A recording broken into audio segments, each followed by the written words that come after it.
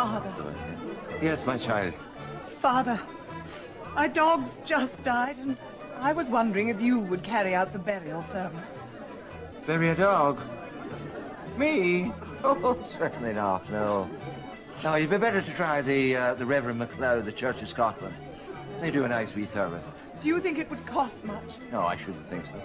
Do you think a thousand pounds would cover it? My dear child, you didn't tell me the dog was a Catholic.